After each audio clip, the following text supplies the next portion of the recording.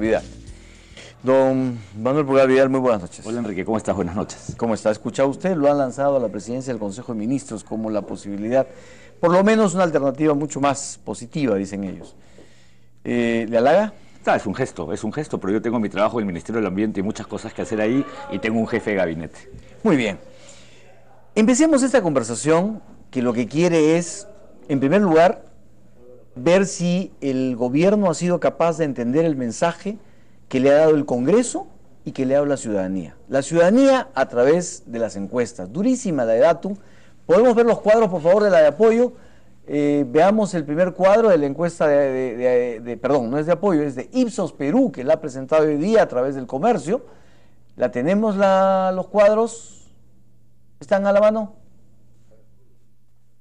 Me dijeron que sí las teníamos. Se han abstenido. Se han abstenido los, cuadros. Bueno, esperemos que cambien su, posición los cuadros, ¿no? Los cuadros. Bueno, empecemos entonces haciéndole, reiterando la pregunta. ¿Entendió algo el gobierno del mensaje que le envió al Congreso y la población? Siempre entendemos. Y te digo una cosa, Enrique. Yo creo que el Congreso tiene todo el derecho, además de su función, de dar señales políticas.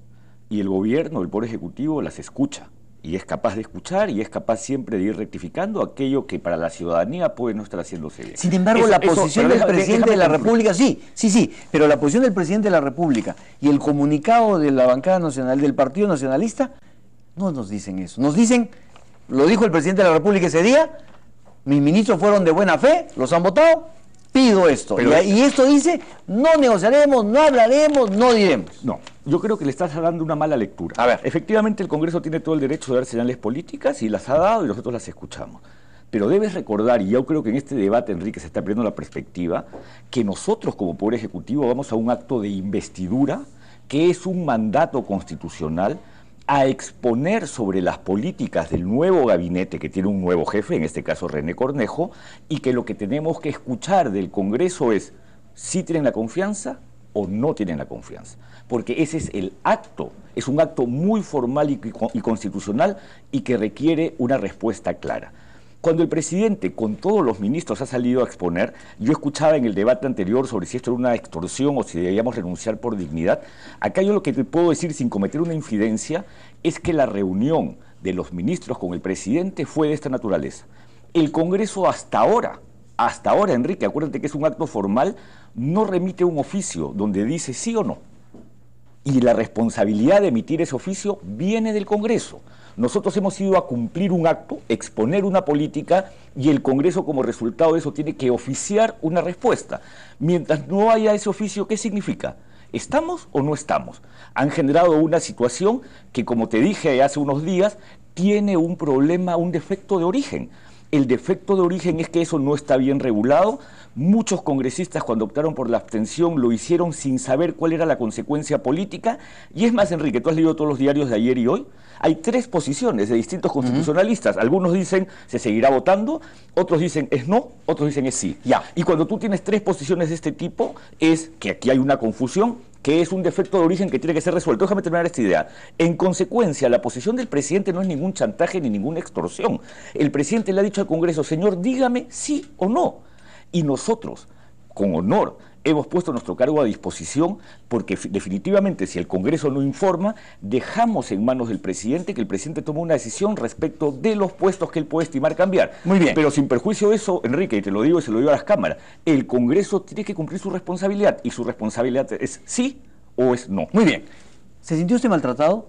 ¿Se sintieron los ministros maltratados? Yo creo, Enrique, que si tú pones en balance lo que son las expresiones de un Ejecutivo y un Congreso que están reunidos en ese pleno, basta que cualquier persona que ponga las cámaras y vea cuál fue el contenido de lo expuesto por el Ejecutivo versus el contenido de los expuestos por muchos congresistas, cualquiera puede sacar una gran conclusión. No, yo le pregunto por las votaciones. Deja, deja primero en el debate. En consecuencia, aquí hubo una muy buena presentación de plan de gobierno, muy alturado debate, y por otro lado hubo mucho ataque, mucho insulto, pero que sabemos que es parte del juego político. En relación al tema del Congreso y la votación, en realidad un ministro no se siente o maltratado o no maltratado. lo que el ministro tiene que esperar, porque para eso existe el acto de investidura, es que le den una respuesta. Muy bien. Y si la respuesta es no, perfecto. Ahí entramos. ¿Quién es el presidente del Congreso? En todo caso, ¿dónde estuvo la desinteligencia? el partido de gobierno pasó por el, ya no sé cómo llamarle, le han llamado triquiñuela, leuleyada, Leuleyada, de, hacer que seis miembros de su propia bancada voten en contra de ustedes para tratar de romper, perdóneme, si votaron en contra de ustedes, no me Sí, puede decir que no. no, seis, efectivamente. Ya. O sea, esa fue una maniobra. Muy bien, tuvieron que recurrir a eso para poder tratar de salvar el impasse. Pero en todo caso, curioso, es el propio presidente del Congreso de la bancada nacionalista el que no le da pase a la triquiñuela y dice, levanto la sesión y el pedido del primer ministro no queda admitido. Puedes llamarlo Entonces, oiga, este es un problema que se origina y que se está muy mal manejado por el propio oficialismo, porque cuando nosotros periodistas llamamos por teléfono después de la segunda votación a los miembros de la oposición, ¿qué nos dijeron? Enrique, ya le dieron el voto de, de- de esto. O sea, la oposición ya se había hecho la idea. ¿Quiénes se contradicen? Abugatás y el presidente del Congreso. Los dos oficialistas. Mira, mira, mira, las Y contradicciones. el presidente de la República sale y desautoriza a Bugatás, que había hecho toda esta maniobra, y le dice, no, no, no, tu, tu solución no me gusta. Así es que, presidente del Congreso, ah, llame usted a una nueva votación. Todo en la familia. Listo. Es, lo- es, es el oficialismo. Tus preguntas andan bien largas. Creo Ah, que yo te voy a que. Mira, Enrique, llámalo triquiñuela o leuleyada. Pero mira tú las contradicciones, lo que ha dicho hoy día Javier Velázquez, que es que en el acto de la votación, creo que fue Juan de Díaz Dios, sacó el informe el año 2003. ¿Qué cosa dice este informe del año 2003 de la Comisión de Constitución? Frente para mí a ningún vacío, el reglamento es claro, ¿se rehúsa o no se rehúsa?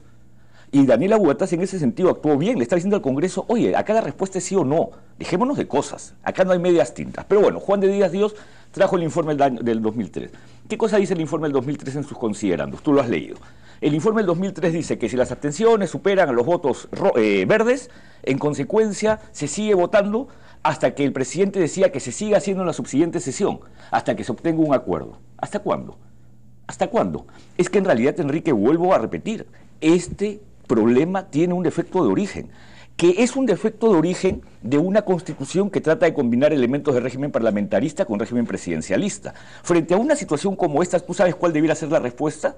La respuesta, no te digo que esa es la que vamos a hacer, me refiero a una respuesta constitucional, la misma respuesta constitucional de los Estados Unidos con el presupuesto. Cerremos el gobierno. Sí, se cierra el gobierno hasta que el Congreso decida. La misma, la misma posición que existe en Bélgica. ¿Tú sabes cuántos años tuvo Bélgica sin gobierno? Casi un año. Casi un año. Funcionando como Estado muy sólido. ¿Por qué? Porque había toda esta discusión entre los lombardos y lo- los partidos típicos de Bélgica. En consecuencia, acá tú tienes un vacío en la Constitución, en el reglamento, que hace Enrique, que ni el Congreso sepa cuál es la consecuencia de su acto. Muy bien. Y, y- y nuevamente, una cosa sí te digo, porque acá no hay ningún chantaje al Ejecutivo. Acá tú tienes dos partes. Una parte que llega a informar, a exponer, y una parte que tiene que votar y oficiar. Nosotros hemos cumplido nuestra parte, a la otra le toca hacerlo. Don Manuel Pulgar Vidal, entonces no entendieron el mensaje. El mensaje que el Congreso les dio fue, un momento, no te voy a dar ni lo uno ni lo otro, porque lo que quiero es que resuelvas algunas cosas y te sientes a conversar conmigo de otras que podemos arreglar. Correcto. Y ese es un mensaje político. Pero no lo hicieron. No, no, no. no. Lejos Esto- de eso, No. o sea, después de la primera votación debieron darse cuenta que la segunda iba a ser igualita. Yo creo, Enrique, que nos estamos moviendo en dos niveles distintos. El mensaje político está clarísimo. Lo escuchamos, vamos a ver Perfecto. cuáles son los gestos. Contésteme ahí. no, no, pero no, no, es que no quiero que se me escape. Contésteme ahí. Si escucharon el mensaje, si leyeron las encuestas, si escuchan a la calle, espero lo hayan hecho, ¿qué aprendieron? ¿Cuál es la rectificación? Porque tiene que haber rectificación. Es que me tienes que dejar terminar la idea. Y vuelvo. El mensaje político, claro que se escucha. Pero por otro lado, Enrique, hay un mensaje jurídico, constitucional. Te tienen que dar una respuesta. Perfecto. Por favor, te tienen que decir sí o no. Le dijeron no, pues. Le dijeron, no les aprobamos. Perfecto, entonces hagamos una cosa, que la mesa directiva del Congreso lo comunique. ¿Qué cosa es lo que dijo el presidente? Dígale eso al presidente, está en su familia. Oye, ¿qué cosa dijo el presidente a la una y 40 de la mañana? Levanto la sesión. No, no, no, el presidente de la República. ¿Qué le ha dicho al Congreso? Señor Congreso, dígame usted sí o no con claridad. El presidente no ha dicho denle la confianza a mi gabinete. El presidente ha dicho, usted ha mandado un mensaje que es impreciso, Muy bien. no es claro. Deme usted un sí o Perfecto. un no. Si llega el oficio mañana, porque se reúne, y la respuesta es no, nos vamos. Muy Todos bien. sabemos que nos vamos. Perfecto. Ahora dígame, ¿qué aprendieron? ¿Qué van a rectificar como gobierno frente a un mensaje clarísimo de la ciudadanía y frente a un mensaje clarísimo del Congreso de la República. Probablemente muchas cosas, Enrique, cosas que vamos a ir anunciando en el futuro. Pero tú ten en cuenta una cosa, aquí lo que se está discutiendo no son aquellos elementos de la señal política, aquí se están discutiendo el plan de un nuevo gabinete que requiere que se vote o no se vote la confianza. Y obviamente en este diálogo que se está dando, porque el diálogo sí se está dando, se tendrán gestos políticos porque somos capaces de escuchar. Muy bien, pero el plan de gobierno no puede obviar la realidad. Y la realidad es la que manda cuando se trata de un gobierno de las personas. Ustedes no, están gobernando escritorios, están, nos están gobernando a nosotros. así es. Y la población en general les ha dicho, en más del 90%, no nos gusta que los ministros se hayan subido los sueldos. Puede que el resto sí, pero los ministros no. Ese, ese, ese doble sueldo no nos gusta. Les ha dicho, ¿por qué no quieres discutir mi sueldo mínimo? O sea, te subes el sueldo, pero no me quieres subir el sueldo mínimo. Les ha dicho, quiero ver ministros con autoridad y no que reciban luz verde o que haya una persona que dice quién sale, quién no, o que usted que dice, respeta a su, a su primer ministro, que hayan personas que salen a clavarle un puñal políticamente al, primer ministro siendo su jefe. No le gusta a la población. Entonces, le pregunto, ¿van a revisar el sueldo mínimo? ¿Van a bajarse el sueldo a los ministros? ¿Van a cambiar las actitudes? ¿Van a dejar de maltratar a los primeros ministros desde afuera o van a dejar que, que ya no se maltrate a los primeros ministros?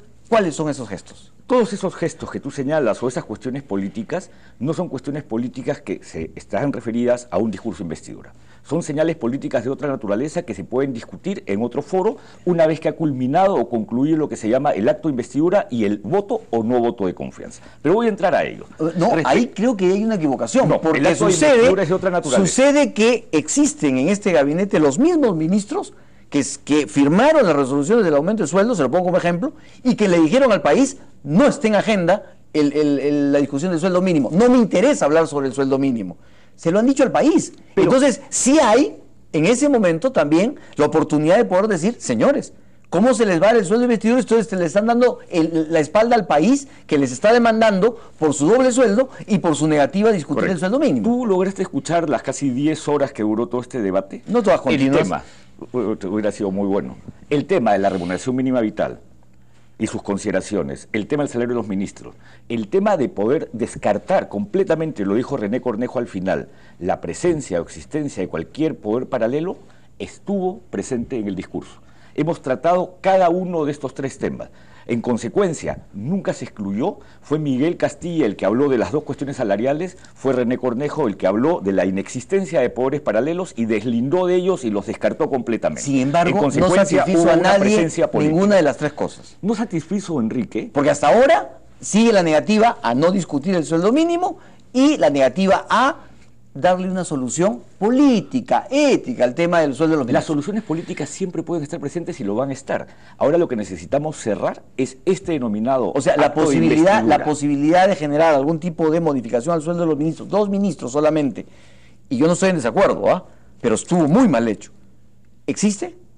Las consideraciones políticas se verán en su momento. O sea, existe Ahora tenemos un acto, no, no, no, las consideraciones políticas se verán en su momento. Ahora estamos en un acto de investidura.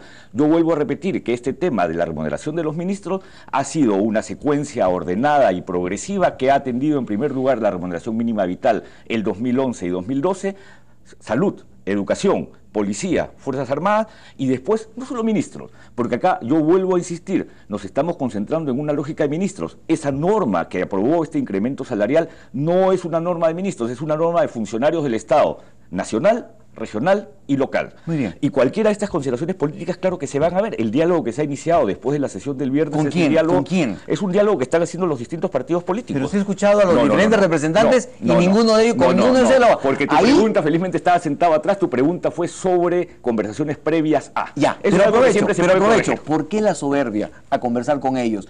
Ellos han reconocido que, estando el, el primer ministro en el, en el hemiciclo, le dijeron para hablar y él dijo que no. Yo he estado con el Premier y el Premier ha estado en distintas reuniones, ni siquiera